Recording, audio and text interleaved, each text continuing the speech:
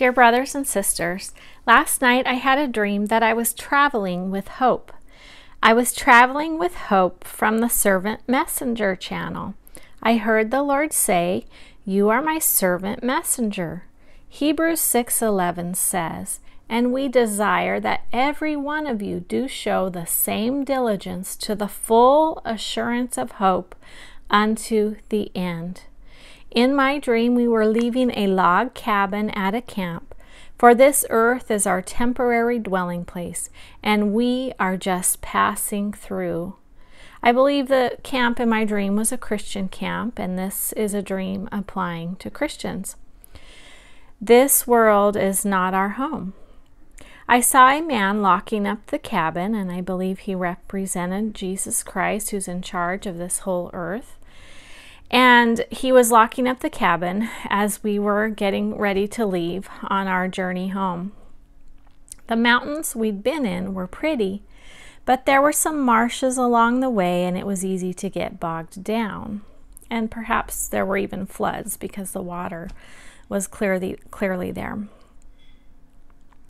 The mountains weren't the same as the mountains in my hometown of Pagosa Springs, which means healing waters.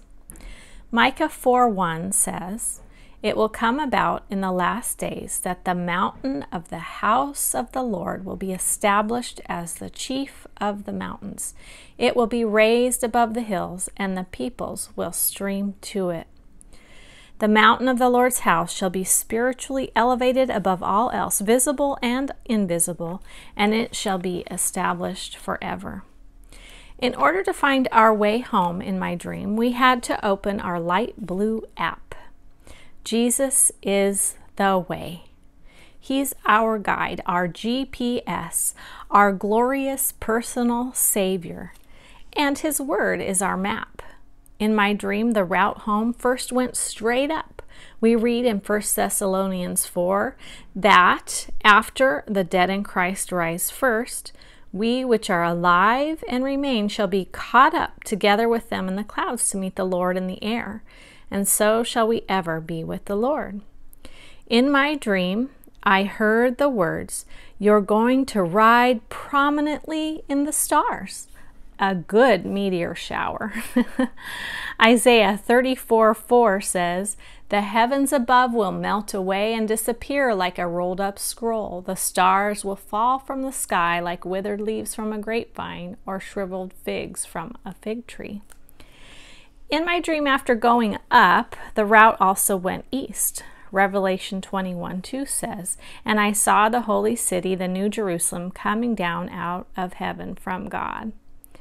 In my dream, the trustworthy, godly man locking up the cabin below had followed me every step of the way to ensure my safety, even when traveling near a pair of twins, which in my dream I knew were from Hollywood and who were magicians, which led to this article and this word deception. In my dream, the twins were mocking runners. Hebrews 6:19 says, "We have this hope, a sure and steadfast anchor of the soul that enters the inner shrine behind the curtain where Jesus, our forerunner on our behalf, has entered." And I know that verse usually applies to um, an anchor, like of a ship. And we have that anchor in Jesus Christ in the heavens, who's gone before us. But I also like to think of the anchor leg of the race, the strongest, most experienced competitor in the race. Jesus is our anchor and our forerunner. And he's gone in and preceded us on our behalf as our great high priest the shed blood of Jesus covers all our sins. Praise the Lord. So, in my dream, the twins were mocking the runners, and as we know, Jesus is our forerunner, and he says we'll share in his sufferings. And in my dream, I opened a conversation with the twins, and I broke the ice and added some humor by saying, So, how long have you been twins? they looked at each other, and I said, Good way to try to find out your age, huh? Well, Hope and I began sharing the gospel, the good news, with the twins, and they were not interested. I began bawling, crying loudly, crying out, No matter what we say, no matter how many times we say it, no matter how we say it, you will never have believing faith. On my journey home, I auditioned for a role to model a company's t shirts.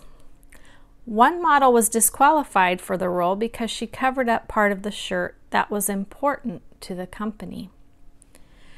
When I started auditioning, I was shy and trying to be sweet and cute, but I heard a voice behind me saying, You've got to strongly represent the brand.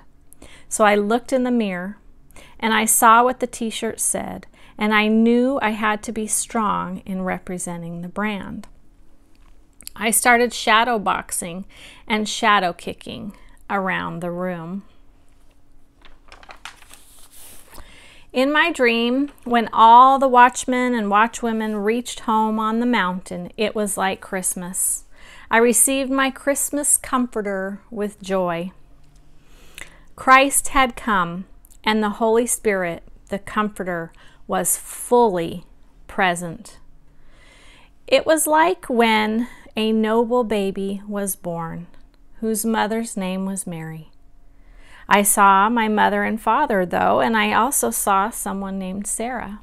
It was a time of great comfort for us all. Jesus, the King of Kings, the noble King of Kings, is coming again soon, and he will reign forever and ever. Praise the Lord. Amen.